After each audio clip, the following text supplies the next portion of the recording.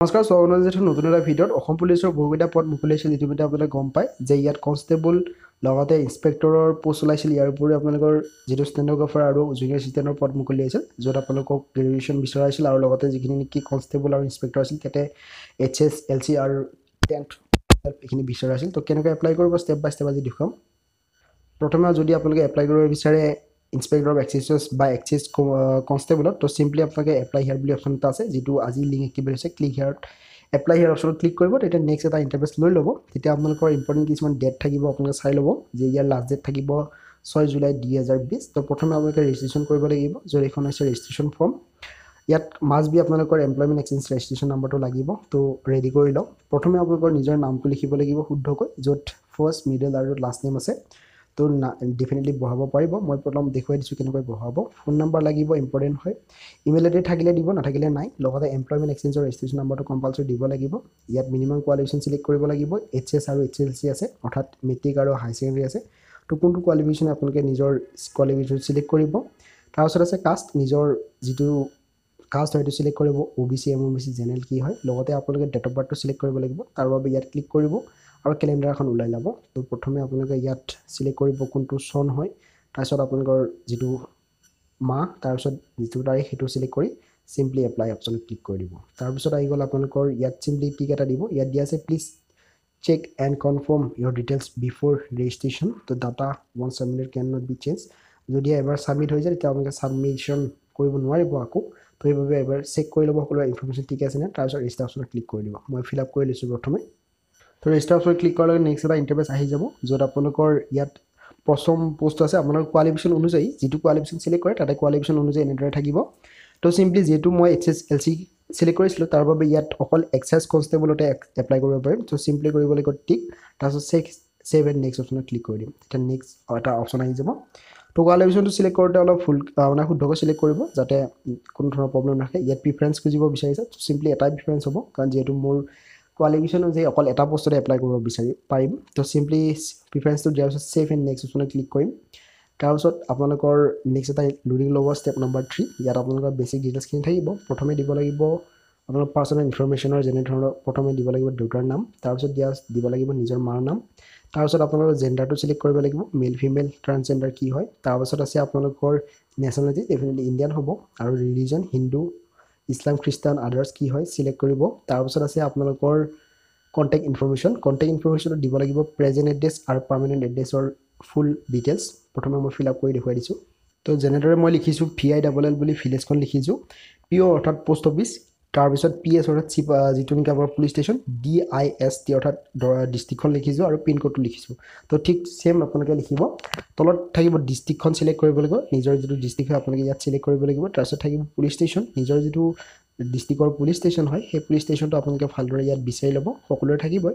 তাৰপিছত আছে পিনক'ড যিটো ছিক্স ডিজিট ক'ড হয় আপোনালোকে টাইপ কৰিব লাগিব। তো চিম্পলি এনেদৰে টাইপ কৰাৰ পাছত যদিহে আপোনালোকৰ পাৰ্মানেণ্ট এড্ৰেছ আৰু যদি কৰ এড্ৰেছ যদি ছেইম হয় তেতিয়া চিম্পলি আপোনালোকে ছেইম অপশ্যনত ক্লিক কৰিব যিটো ঘৰ আছে তাৰপিছত যদিহে আপোনালোকৰ বেলেগ হয় তেতিয়া এফালৰ পৰা ফিল আপ কৰিব। চ' সকলোবিলাক যদি ঠিকে থাকে তো যদি আপোনালোকৰ সকলোবিলাক ইনফৰ্মেশ্যন ঠিকে থাকে তেতিয়া চিম্পলি কৰিব লাগিব ছেভ এণ্ড নেক্সট অপশ্যনত ক্লিক তেতিয়া অলপ সময় লোডিং ল'ব যদি সকলোবিলাক ঠিকে আছে তেতিয়া নেক্সট যিটো ষ্টেপ সেইটো ষ্টেপত গুচি যাব অট'মেটিকলি ইয়াত থাকিব আপোনালোকৰ কোৱালিফিকেশ্যনৰ ডিটেইলছ প্ৰথমে দিব লাগিব আপোনালোকৰ যিহেতু মই H S L C select কৰিছিলোঁ তাৰ বাবে অকল এইচ এছ এৰ ডিটেইলছখিনি দিব লাগিব।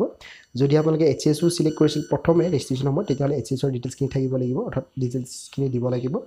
তো প্ৰথমে আছে স্কুল নেম কোনখন স্কুলৰ পৰা মেট্ৰিক পাছ কৰিছে বা আপুনি যদি হাই ছেকেণ্ডেৰী চিলেক্ট কৰে হাই ছেকেণ্ডেৰীৰ নাম খুব লিখিব লাগিব।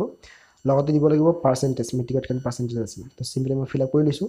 তেনেদৰে চিম্পলি যদি আপোনালোকৰ হৈ যায় তেতিয়া কৰিব লাগিব ছেভ অপশ্যনত ক্লিক ছেভ অপশ্যনত ক্লিক কৰাৰ লগে নেক্সট এটা ইণ্টাৰভেচ আহি যাব। আপোনালোকৰ যিটো নেকি ষ্টেপ নম্বৰ ফাইভ হয় এক্সট্ৰা কাৰিকুলাৰ এক্টিভিটিছ তো চাওক যদিহে আপোনালোকৰ এক্সট্ৰা কাৰিকুলাৰ এক্টিভিটিছত কিবা কিবি চাৰ্টিফিকেট যদি আছে তেতিয়াহ'লে দিব। কাৰণ ডেফিনেটলি এই চাৰ্টিফিকেটবিলাকত তেওঁলোকৰ ফালৰ পৰা পৰীক্ষাৰ সময়ত এটা নম্বৰ দিয়া হয় আপোনালোকৰ চাৰ্টিফিকেটৰ অনুযায়ী। তো প্ৰথমে দিয়া আছে এন চি চি চাৰ্টিফিকেট আপোনালোকৰ এন চি চি চাৰ্টিফিকেট আছে নেকি সুধিছে? যদি আছে য়েছ কৰিব। আৰু তাৰপিছত তলত কৰিব লাগিব চিলেক্ট ইয়াৰ আপোনালোকৰ এন চি চি তিনিখন চাৰ্টিফিকেট থাকে তো চিম্পলি যিখন চাৰ্টিফিকেট আছে আপোনালোকে য়েছ কৰি চিম্পলি ব্ৰাউজ অপশ্যনত গৈ আপলোড কৰিব। তো যদিহে ফটো চাইজ মিলাব নাজানে মোবাইলৰ পৰা তেতিয়া ডেছক্ৰিপশ্যন ওচৰত এটা ভিডিঅ' লিংক আছে ফটো চাইজ ৰিডিউচাৰ বুলি তো তাতে আপোনালোকে গৈ আপোনালোকে মিলাব পাৰে। তো নেক্সট আছে আপোনালোকৰ হোমগাৰ্ড চাৰ্টিফিকেট যদিহে আপোনাৰ হোমগাৰ্ড চাৰ্টিফিকেট আছে চিম্পলি কৰিব লাগিব য়েছ ইয়াত চিলেক্ট কৰিব কোন কেনেকুৱা ধৰণৰ হোমগাৰ্ড চাৰ্টিফিকেট আছে।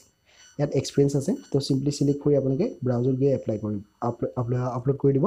যদি নাই চিম্পলি ন' কৰিব নাথাকিলেও কোনো ধৰণৰ প্ৰব্লেম নাই আপলোড এপ্লাই কৰিব পাৰিব। লগতে স্পৰ্টছ চাৰ্টিফিকেট আছে যদি য়েছ কৰিব নাথাকিলে ন' কৰিব। তাৰপিছত তলত আছে কম্পিউটাৰ প্ৰফেচেঞ্চি চাৰ্টিফিকেট অৰ্থাৎ কম্পিউটাৰৰ যিকোনো যদি চাৰ্টিফিকেট আছে আপলোড কৰিব লাগিব।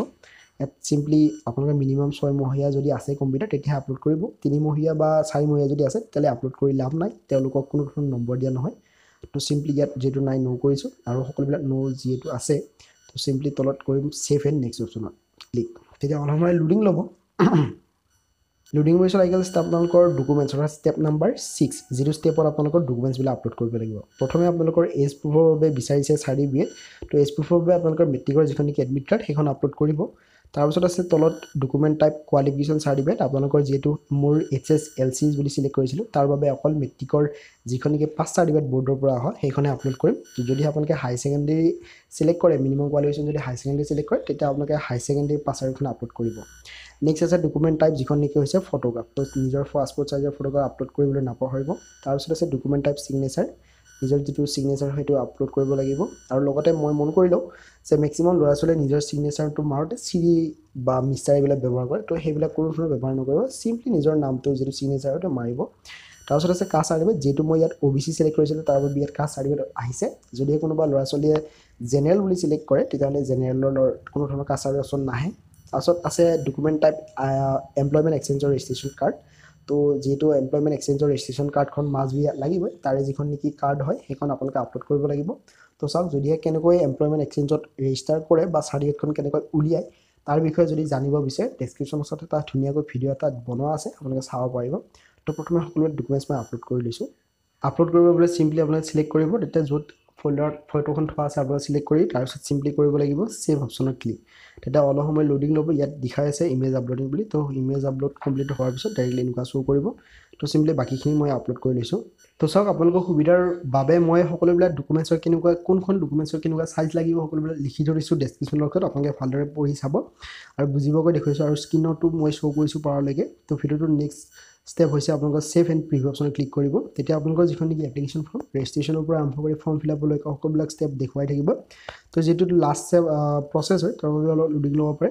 তো এনেদৰে আপোনালোকে শ্ব' কৰিব সকলোবিলাক ইনফৰ্মেশ্যন আপোনালোকে এফালৰ পৰা চেক কৰিব কোনটো কি হয়। তো ইমেজবিলাক যদি চাব বিচাৰে ইয়াত চিম্পলি ভিউ অপশ্যনত ক্লিক কৰিব। যিখিনি নেকি আপলোড কৰিছে সেইখিনি এতিয়া আপোনালোকে শ্ব' কৰিব পাৰিব চাব পাৰিব। তো চিম্পলি যদি ঠিকে থাকে চিম্পলি কৰিব লাগিব ছাবমিট অপশ্যনত ক্লিক তেতিয়া এনেকুৱা এটা আহিব তো চিম্পলি কৰিব লাগিব ফাইনেল ছাবমিটত ক্লিক তেতিয়া অলপ সময় লোডিং ল'ব যিটো ফাইনেল ছাবমিশ্যনৰ প্ৰচেছ তো অলপ সময় লোডিং লোৱাৰ পাছত নেক্সট এটা ইণ্টাৰফেচ আহিব যিটো মোবাইল নম্বৰ আপোনালোকে প্ৰভাইড কৰিছিল সেই মোবাইল নম্বৰত এটা অ' টি পি যাব। তো অ' টি পিটোৰ বাবে ৱেইট কৰিব আৰু মোবাইলত চেক কৰিব। অ' টি পিটো চিম্পলি টাইপ কৰি লৈছোঁ মই। তেনেদৰে টাইপ কৰাৰ পাছত চিম্পলি কৰিম ছাবমিটত ক্লিক যদিহে অ' টি পিটো এতিয়া ভেলিডেট হৈ আছে তেতিয়াহ'লে কামত দিব। ভেলিড নাথাকিলে কামত নিদিয়ে। তো যিহেতু অলপ ভেলিড দিছে বুলি গম পাইছোঁ তো সেইবাবে অলপ লোডিং লৈছে। তো অলপ সময় লোডিং লোৱাৰ বাবে আপোনালোকে ৱেইট কৰিব। তেনেদৰে ইণ্টাৰফেচ এটা আহি যাব য'ত ডাউনলোড অপশ্যনত ক্লিক কৰিব আপোনালোকে নিজৰ এপ্লিকেশ্যন ফৰ্মখন ডাউনলোড কৰিবৰ বাবে। আৰু যিখন নেকি আপোনালোকে প্ৰিণ্ট কৰি যি নিজৰ ফাইলৰ ভিতৰত সোমাই থ'ব যেতিয়ালৈকে এডমিট কাৰ্ড নাহে তেতিয়ালৈকে সেইখন কামত দিব। আৰু তাতে যিখন নেকি এপ্লিকেশ্যন নাম্বাৰ থাকিব সেই নাম্বাৰৰ সহায়ত আপোনালোকে এডমিট কাৰ্ড ডাউনলোড কৰিব পাৰিব। তো ইয়াৰ যিটো চিলেকশ্যন প্ৰচেছ বা কেনেকুৱা দৰে কি কৰিব সকলোৰে প্ৰচেছ নেক্সট এটা ভিডিঅ'ত বনাই থৈ দিছোঁ মই। তো আপোনালোকে চাব বুলি আশা কৰিছোঁ। ভিডিঅ'টো লাইক কমেণ্ট আৰু যিমান পাৰে শ্বেয়াৰ কৰিবলৈ নাপাহৰিব। ধন্যবাদ।